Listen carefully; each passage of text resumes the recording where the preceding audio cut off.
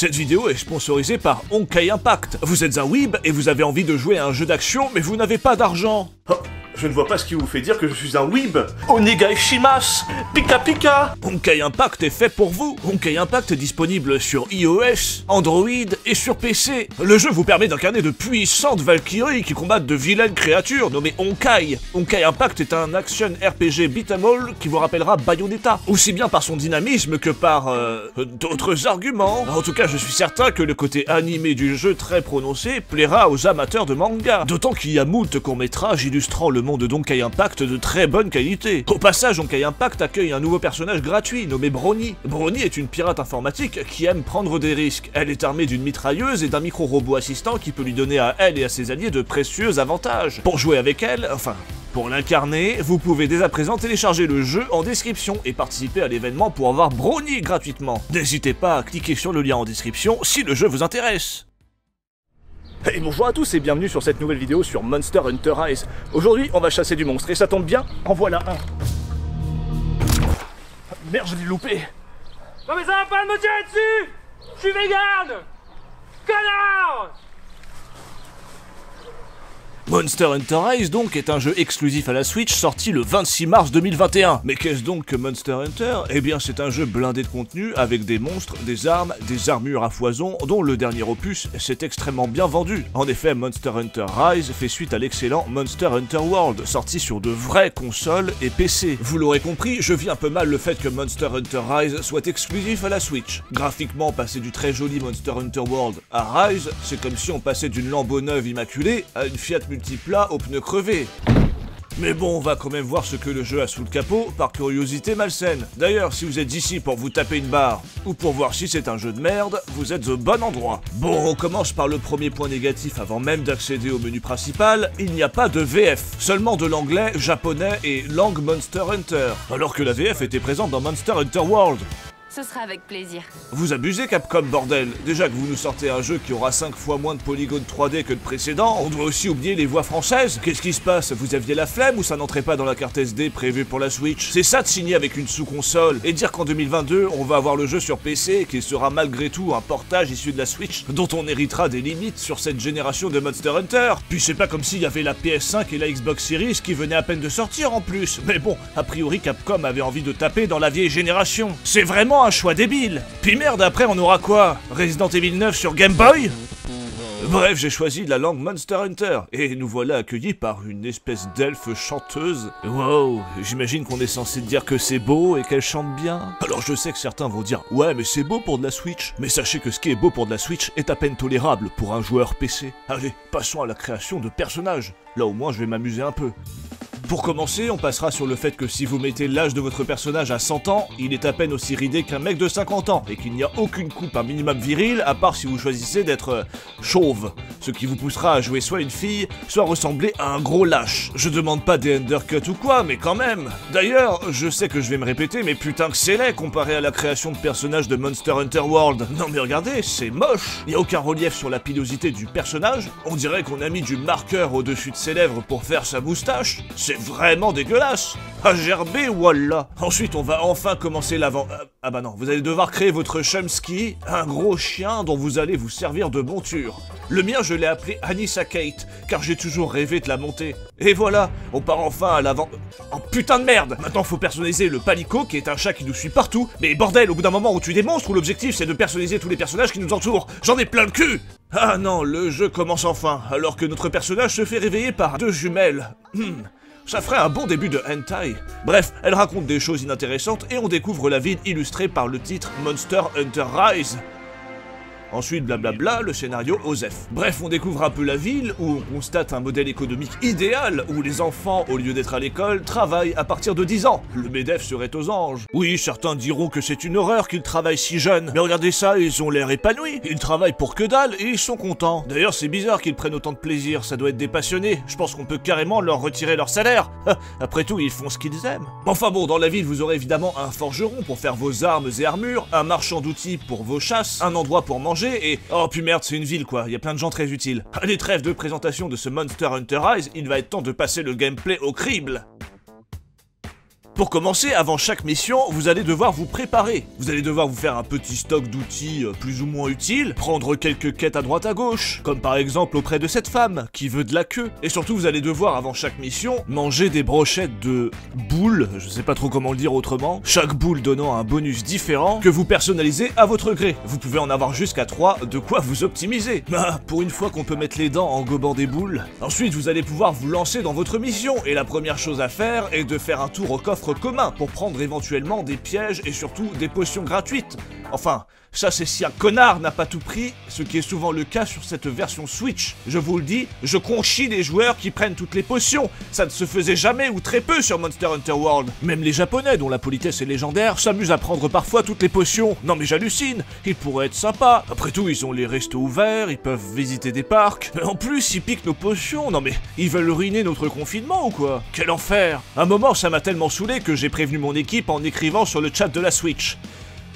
Bon, la mission a été terminée avant même que je finisse d'écrire mon texte, mais bon, il y a aussi des Français dans le tas. D'ailleurs, j'ai chopé l'adresse d'un des joueurs, au pseudo aussi classe que subtil, le Sorceleur 59. Bonjour, Sorceleur 59. Alors comme ça, t'aimes bien prendre les potions prévues pour le groupe? Euh, vous êtes qui, Qu'est-ce que vous faites chez moi, là T'es un gros buveur de potions, hein Tiens, en voilà une Et t'as intérêt à la boire en entier, sinon je t'explose la gueule. J'ai pissé dans cette bouteille pendant une semaine. Ça t'apprendra On va encore? Ah, quelle bande de gros porcs, ces voleurs de potions Revenons à nos monstres que vous allez devoir pister. Enfin, vous allez devoir regarder la carte, quoi. En effet, plus besoin de pister les traces des monstres comme sur Monster Hunter World, euh, c'est dommage, ça ajoutait un côté naturel au jeu. Bref, une fois que vous avez trouvé votre monstre, on passe au plus intéressant, le défoncer jusqu'à ce qu'il crève, et là on peut constater quelques nouveautés pour en venir à bout tels que les coups spéciaux. Vous en avez quelques-uns et vous pouvez les changer, ce qui est franchement très sympa. Cela ajoute un peu de diversité au jeu, même si à la fin tout le monde utilisera les mêmes coups les plus optimisés. Par contre, ils ont un peu merdé pour le nom des techniques. Lorsque mon personnage fait un coup spécial, voilà ce qu'il dit. Pour les anglophobes, voilà ce que ça donne. Bite finale. On est d'accord qu'on pouvait facilement trouver mieux. Bref, cela dit, ces coups dépendent d'insectes chelous nommés philoptères, qui servent aussi de grappins afin de jouer avec la verticalité des niveaux et monter rapidement en haut de falaises ou passer par-dessus des précipices. Lorsque vous les utilisez, ils reviennent après un certain temps. Ils servent aussi à grimper sur les monstres et à les contrôler un court laps de temps. Et ouais, non seulement on les découpe en morceaux, on les capture et on les tue, mais en plus on pose nos baloches dessus. Quelle humiliation pour la faune locale Si vous cherchiez un jeu de chasse noble et respectueux envers vos proies, il faudra repasser mais bon, comme dans tous les Monster Hunter, on fait ça pour réguler l'écosystème, alors bon, ça va. De toute façon, dans Monster Hunter, il n'y a pas de SPA ni de protection des animaux, tout le monde s'en branle, alors on peut dire ce qu'on veut. Un jour, un monstre a même essayé de défendre sa propre cause. Le pauvre s'est juste ridiculisé. Bienvenue sur Jérôme live, aujourd'hui nous accueillons le monstre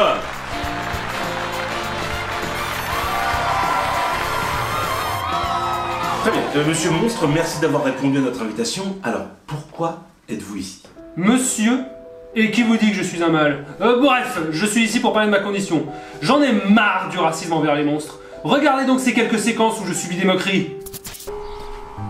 Et dis-moi le monstre Comment tu fais pour te branler avec des petits bras comme ça là? Retourne dans ta forêt, gros monstre Oh, ça va le monstre Oh, mais tu sais, t'inquiète pas, t'es pas gros, hein T'es juste une grosse merde C'est pas drôle, rien n'est adapté pour nous les monstres. Que ce soit pour s'habiller, merde, prendre sa voiture, Oh putain. Oh, oh, putain. Allez Putain Ah Même les petits chiens, ils m'insultent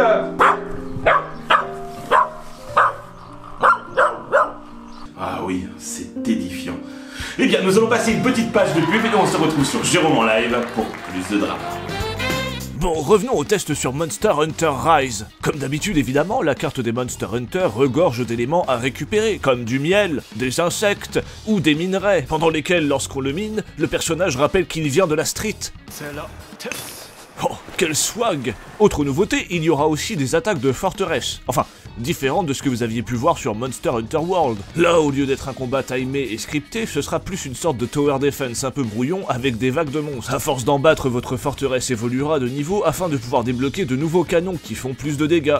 Personnellement, je trouve que c'est de la merde et ça me fait stresser. J'ai juste fait les missions qu'il me fallait et j'ai plus jamais retouché à ce mode. De toute façon, je joue pas à Monster Hunter pour jouer à un putain de tower defense. Bon après, comment parler de Monster Hunter Rise sans parler du multijoueur, surtout sur Switch Du coup, en plus de mon abonnement PSN, Netflix, Disney Plus et Amazon Prime, j'ai dû ajouter un putain d'abonnement Nintendo pour jouer sur internet, bordel de merde. Croyez-moi, ça me fait mal au cul. Par contre, l'abonnement à ma chaîne, lui, est gratuit. Alors profitez-en et n'hésitez pas. Non mais regardez ça, vous payez le droit de jouer à un live qui provoque ça. Évidemment, ça ne va pas vous empêcher de vous faire déconnecter en pleine quête, hein. Le seul truc cool avec le live, c'est qu'à la fin d'une quête, on peut mettre des likes à un des joueurs du groupe. Et les japonais minondent de likes, comme pour s'excuser d'avoir piqué toutes les potions. Oh, ils sont mignons. Mais enfin bon, parlons un petit peu du bestiaire. Car comme tous les Monster Hunter, il est bien garni. Vous aurez le droit à des dinos chelous, des gros lapins de merde, des gros ours de merde, des T-Rex de merde, des saloperies qui arrivent à tenir debout sur leur queue. Oh, moi qui croyais être le seul à pouvoir faire ça. Des araignées dégueulasses, des dragos baloches, ouais je les ai appelés comme ça, c'est des dragons avec des énormes couilles. D'ailleurs comme pour les hommes, ce sont leurs points faibles. Alors n'hésitez pas à prendre leurs testicules pour une pignata. Par contre je vous conseille de fermer la bouche quand vous l'avez éclaté.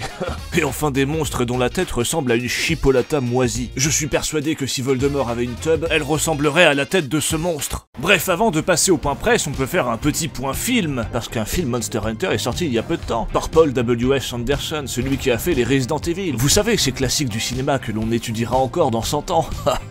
non. Parlons des bons côtés du film. Il y a un passage avec un palico qui fait à manger. Parlons des mauvais côtés du film. Et bah tout le reste, tout simplement, du scénario qui tient sur un post-it, au cosplay raté du chef du village. Non mais regardez ça, on dirait un sac de pommes de terre qui a tenté de se déguiser en Wolverine. Bref, ce film est une diarrhée audiovisuelle, alors passons au point presse.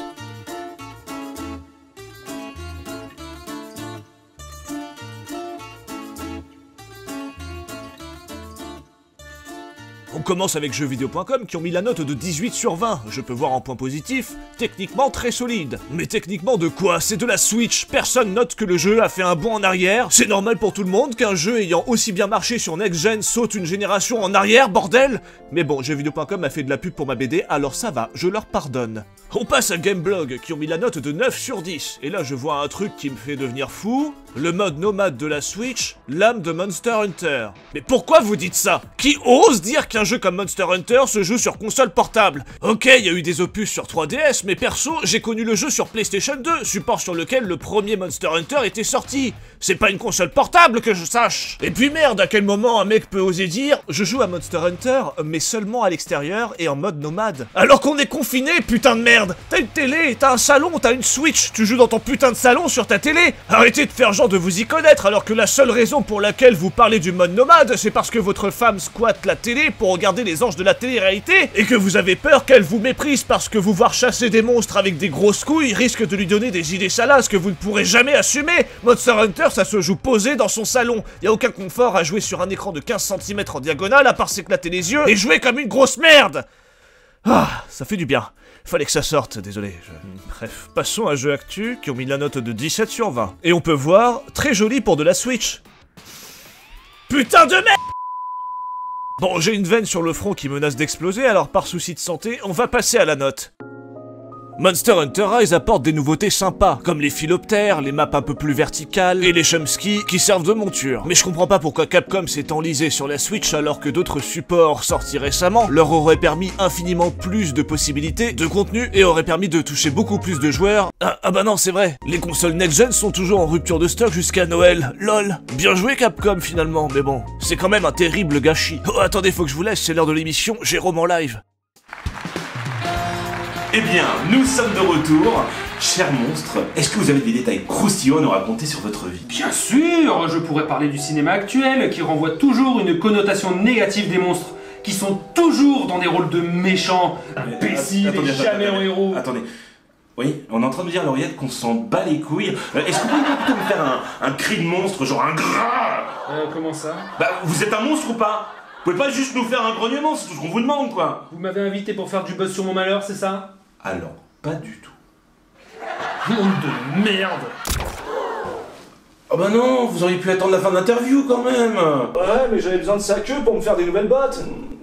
Bon, je l'ai aussi buté pour réguler l'écosystème, évidemment. Et ben voilà, messieurs, dames, on l'applaudit bien fort Merci à vous, on se retrouve la semaine prochaine. Vive le bio et vive l'écologie Sur 20 Merci à tous d'avoir regardé cette vidéo, j'espère qu'elle vous a plu. N'hésitez pas à vous abonner, à liker et à partager. Merci à Jérôme en live de nous avoir prêté leur studio. N'hésitez pas à vous abonner à leur Twitch. On est bientôt 750 000 sur la chaîne. Oh là là, c'est beaucoup. Bon allez, merci, bisous, ciao, à la prochaine Bon, normalement tout le monde s'est barré, le prochain test c'est sur Genshin Impact, et c'est une OP, mais ne le dites à personne.